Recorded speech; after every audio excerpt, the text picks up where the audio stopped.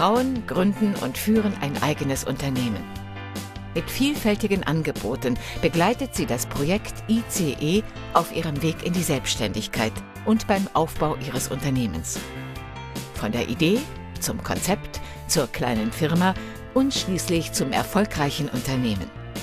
Gemeinsam mit anderen Frauen oder auch im individuellen Gespräch gibt es Informationen und Antworten auf ihre Fragen.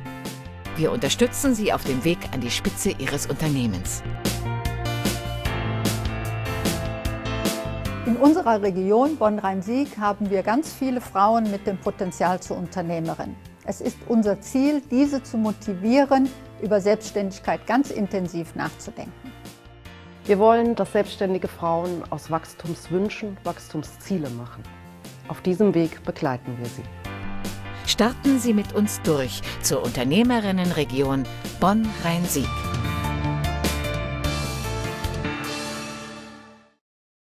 Startschuss für den Rheinischen Kunstpreis des Rhein-Sieg-Kreises 2010. Der Startschuss für den Rheinischen Kunstpreis 2010 ist gefallen. Noch bis zum 2. Oktober können sich Künstlerinnen und Künstler des Rhein-Sieg-Kreises auf die begehrte Auszeichnung bewerben.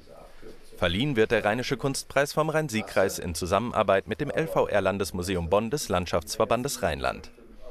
Fast zehn Jahre ist es her, dass der Kunstpreis zum ersten Mal gestiftet wurde.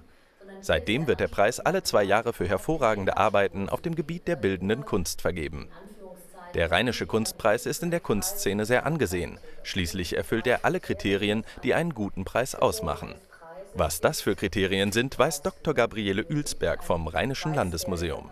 Ein guter Preis sollte ein gutes Preisgeld haben, weil sonst ist es nur Ruhm und Ehre und nicht so sehr auch wirklich Unterstützung und Förderung.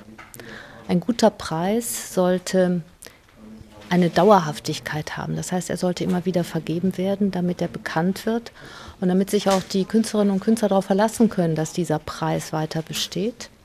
Und ein guter Preis sollte auf Qualität achten. Das heißt, die Preisträgerinnen und Preisträger sollten einfach gute Kunst machen und dann wird der gute Preis auch wirklich ein, ich sag mal, ein Standard, den man setzt und mit dem man äh, Kunst im wahrsten Sinne des Wortes unterstützen und fördern kann.